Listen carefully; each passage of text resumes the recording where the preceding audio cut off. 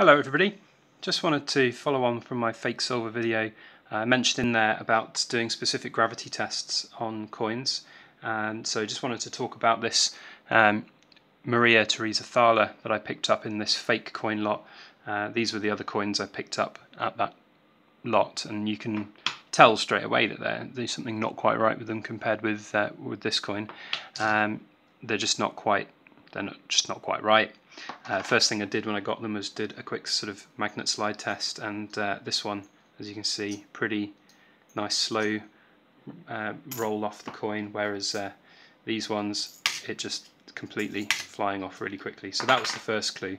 And uh, and that sparked my interest. You see that one it's just sticking to the coin altogether ferrous in there. Um, so that sparked my interest in this coin. Why is that um, sliding off there not quite right? And so I wanted to do another test on it um, so I did a specific gravity test. Um, if you're wondering what the little string is, I've tied um, a bit of dental floss to it, pre-tied it because it's a bit tricky to tie uh, when under pressure on the camera. Um, so things you're going to need to do a specific gravity test, really easy, really, really easy to do at home. You're going to need weighing scales, preferably accurate to 0.01 grams. It's uh, better when doing these kind of weightages.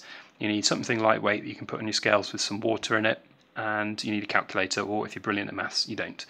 Um, your next thing you need to know is you need to know what the silver content is roughly of the coin you're testing.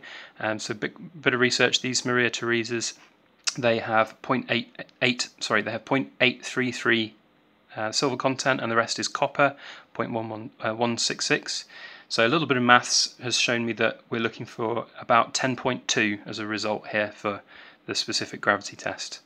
Um, so what you need to do first is weigh the coin. Um, to zero the scales and then weigh the coin. So we've got 27.93 here, uh, probably a little bit extra because of the um, dental floss, but really it's insignificant. Um, so that's the first thing you do. So 27.93, tap that into your calculator.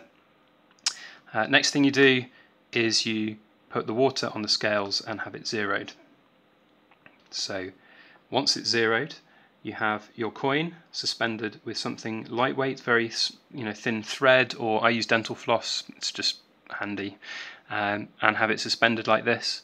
And what you're going to do is you're going to put it in the water, not touching any of the sides or the bottom. It's very important that doesn't happen. And you're going to record the weight of the coin in the water. So we dip that in just above the meniscus of the water, and we're getting 2.74 as a result. So take that out. You might notice when you take it out the scales aren't zero. That's because there's water left on the coin. You see there a drop coming off. So that's why. So don't worry, your scales aren't wrong. It's just that you're taking some water out of the uh, out of the cup here. So once you've uh, got your result 2.74 there, you're just going to divide the original weight by the weight of it in water, 2.74, and there you go, we've got 10.19. So it's pretty close to 10.2, which is exactly what it was meant to be. So there you go. So I think that's pretty conclusive proof that this uh, this supposedly fake coin, which I got as part of a lot of, of uh, four coins for £1.99, is pure, well, it's real silver.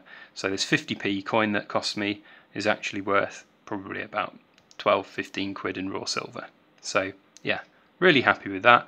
And that's how you do a specific gravity test. Really very easy. Anyway, thank you very much. Any questions, do let me know.